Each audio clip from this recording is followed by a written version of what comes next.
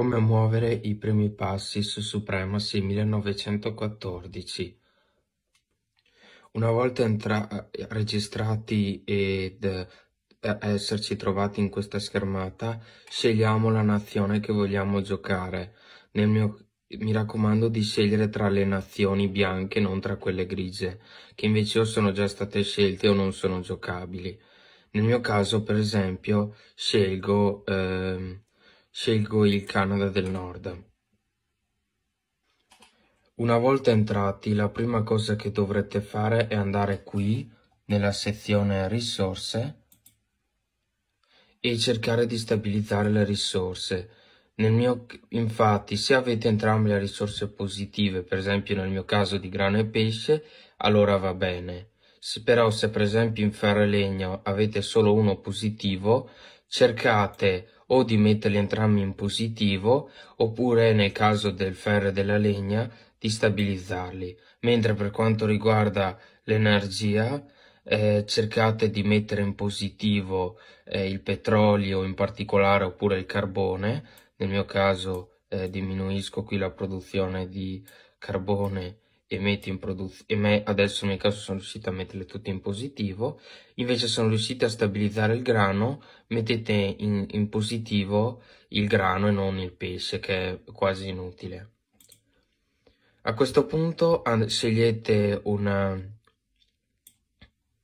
una provincia e iniziate a cliccare su costruzione, cliccate su ufficio di reclutamento, costruisci, e qui si starà costruendo, ci metterà 20 secondi. Chiudiamo e facciamo questa procedura sempre su costruzione, ufficio di reclutamento, in tutte le province, queste qui gialle, che abbiamo a nostra disposizione. A questo punto dobbiamo, eh, qui, qui in basso ci sarà la sezione rapporti dal fronte dove ci sono tutte le notizie che stanno accadendo nella nostra nazione.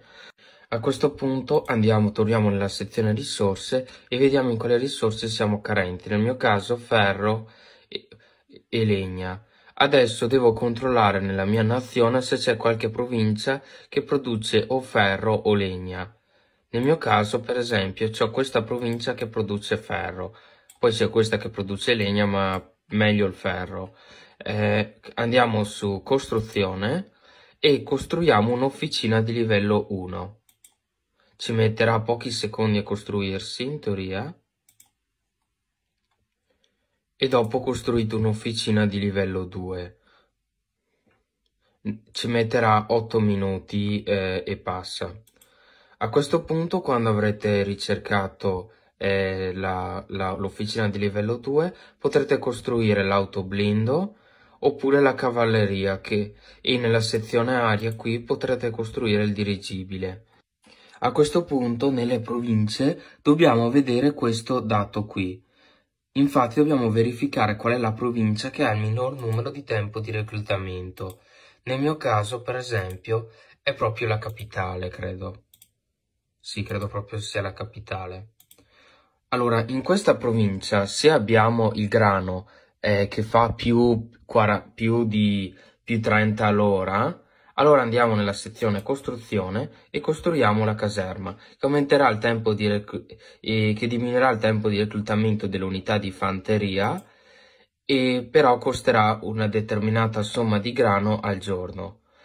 Se in futuro non avremo più molto grano, possiamo tranquillamente disattivarla cliccando sull'icona che si formerà qui in basso e cliccare su disattiva.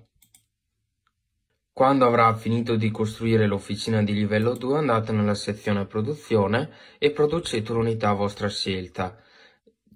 Se potete anche costruire la cavalleria se avete costruito una caserma. Nel mio caso produco l'autoblindo, anche se vi consiglio di aspettare che finisca di costruirsi l'officina di livello 2.